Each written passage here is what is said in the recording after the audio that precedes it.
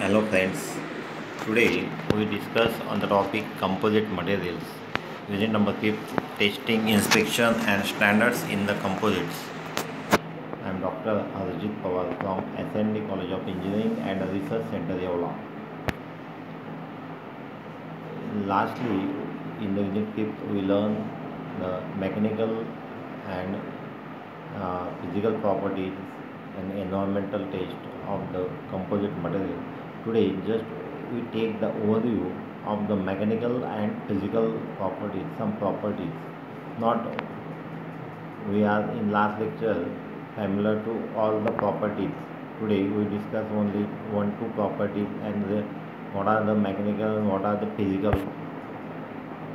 A need to improve the mechanical properties of polymer drive the development of the glass fiber reinforced polymers as the first composite parts to be used for radar domes, boat hulls and car board, car body section through the frustration or vacuum bag molding. These are the first one. Also, the composite express a mechanical behavior significantly different from the that of the conventional mat- uh, materials such as metals owing to their nature therefore other standard designed for the directly evaluating the bulk mechanical properties of composites are usually preferred for tensile, compressive and shear stress. Composites material, especially lightweight composite structures, are being used in an ever increasing variety of products and applications such as aeroplanes, construction, ground transportation, and environmentally sustainable energy system that involves immensely needs mechanical and physical testing of the component and structures of the composite materials. Prior their applications thus the full characteristics of the properties of anisotropic and inhomogeneous composite materials for use in the demanding structural applications require a wide range of the mechanical test the mechanical testing of composites materials involve a range test of types and feldspar of standards ASTM, ISO, CEN along with testing conditions in a variety of different environments. The mechanical and physical properties or testing of the polymers and their composites is vital of the determine the material properties for use in the design and analysis of the product quality also quality control. Application performance requirements and production processes. The mechanical and physical testing ensure the mechanical material uh, conditions. Also the material compliance with the performance requirement in accordance with industrial specifications especially to the aerospace automotive consumer medical and defense industries Mechanical testing of polymer composite involves the determination of mechanical parameters such as strength and stiffness of investigate its use for the design of composite structure. The most common standardized mechanical testing of polymer composite includes tensile means tension, flexural, impact, shear and compressive with open and closed holes and the physical testing includes water absorption, density, void contents, contents, hardness and stress resistance. Researchers are also conducted some compression, shear and interlaminar strength for the determination of the proper parameters of the uh, failure criteria model involving ultimate stress and failure predicted of the composite sample. This show in the we are so here uh, given the website on this you search every materials related to physical mechanical testing AACRE at in the mechanisms behind this many other standards bearing strength test according to ASTM-D 5961 and interlaminar fracture toughness test to the ASTM-D 5538 are reported as a mechanical test on the composites. In mechanical, there are one of the tensile stress is carried out.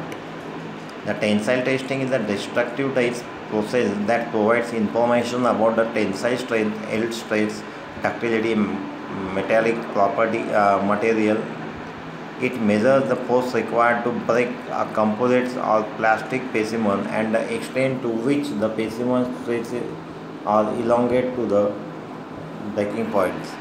Tensile testing of composites is generally in the form of basis tension or flat sandwich tension testing in accordance with standards such as ISO 527, ISO 52745, ASTM D638, ASTM D3039 and ASTM C297. Such test produces stress strain diagram used to determine tensile modulus. Tensile testing is presented in next figure C. This is the tensile stress for the plastic of composite materials as shown here. Then alignment is critical for composite testing application because composites are anisotropic and generally brittle as the anisotropy means that the properties and strength of the material differ depending on the direction of the applied force or load. Thus, the tensile strength of the composite materials is very high in the direction parallel to the fiber orientation, while the tensile stress is much lower if tested in any other direction. Interestingly, to determine maximum tensile strength in the direction parallel to the fiber direction, the tensile stress must have superior axial load string alignment primarily critical in aerospace industry where composites are often applied in the high tensile stress structure. Currently, a range of proven gripping mechanism includes manual, pneumatic and hydraulic. Actuation is available for ambient, sub-ambient and high temperature testing ranging between 269 and 600 Name number second is the physical testing in which one was the water absorption. This is called water absorption 24 hours equilibrium is the most important physical test for the material to be used for exterior application under the ASTM D570. It is used to determine the amount of water absorbed under specified conditions. Factor affecting water absorption behavior includes the type of plastic additives used temperature and length of the exposure. The results obtained give an insight on the performance of the materials in water or humid environments. Percentage of water absorption was calculated from the equation also absorption test. Water absorption in the percentage Wn minus Wd divided by Wd multiplied by 100 where Wn is the weight of composite sample Uh, after emulsion and Wd is the weight of the composite sample before emulsion, after and before emulsion. For the water absorption test, the specimens are drive is an oven for the specified times and temperature and then placed in a desiccator to cool.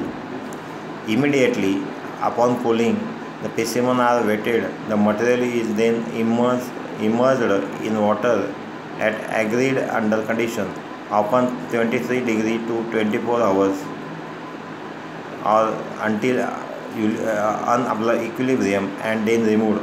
Patted, patted dry with lint free cloth and wedged carefully. The water absorption test is expressed as an increase in weight percentage and continues for several days until the constant weight of the sample is to be obtained Second one, physical, which are the density. Density is one of the important factor in determining the property of polymer composite materials and defined as mass the mass of material per unit volume measured as standard ASTM D729 to 725. ASTM D792 to 91.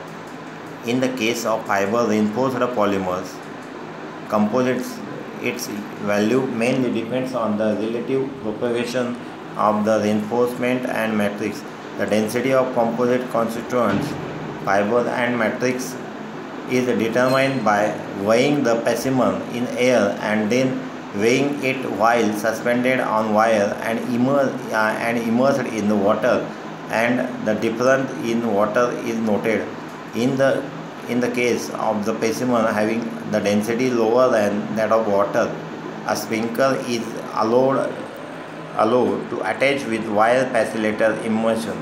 The density rho is then calculated.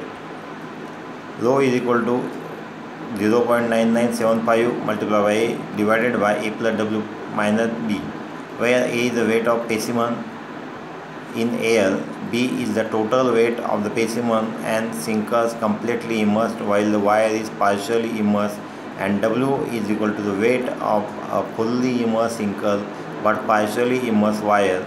The density of the composite is also determined in the similar way.